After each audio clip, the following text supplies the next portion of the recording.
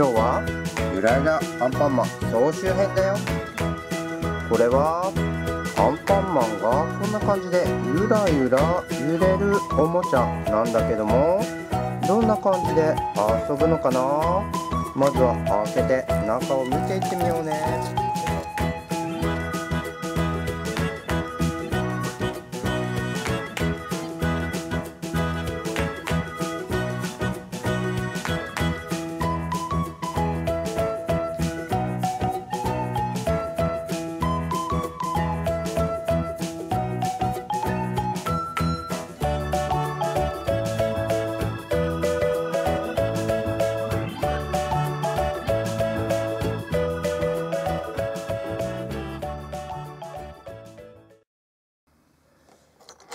このアンパンマンのおもちゃ、とっても面白くて、こんなゼンマイが全部についてるんだよね。ドキンちゃんにも。そして、これが、ルンダ。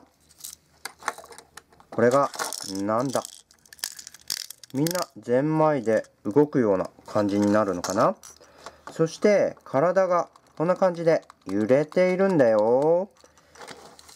ドキンちゃんも揺れてる。あっとっとと。こんな感じ。そして、ルンダと、なんだも揺れる。それから、音がね、面白くて、これがどんな音に聞こえるかな？これは、こっちを見ると、リンリンってなって、体がゆらゆら揺れるっていう風に書いてあるんだけど、リンリンって、リンリンって音が聞こえるかな？そして、ドキンちゃんはどんな音かっていうと、こんな音、これって日本語でなんて音で表現するのかな？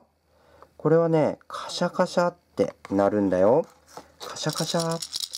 こんな音をカシャカシャって言うんだよね。聞こえる音をこんな感じで表現することができるんだよ。これはじゃあどんな音かな？ドキンちゃんと音とはちょっと違うよね。これはシャラシャラっていう音。シャラシャラって。あ、こっちにも書いていたね。シャラシャラっていう音がするんだよ。それから、じゃあ最後のこのおもちゃはどんな音がするかな？この音、この音だよ。これはね、カラカラっていう音。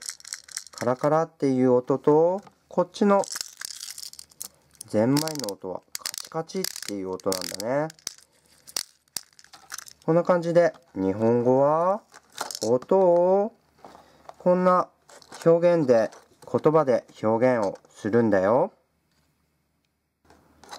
ゆらゆらアンパンマンで音のお勉強したよ。楽しかったかな？チャンネル登録して次の動画も楽しんでね。スマホのみんなは説明欄を見てね。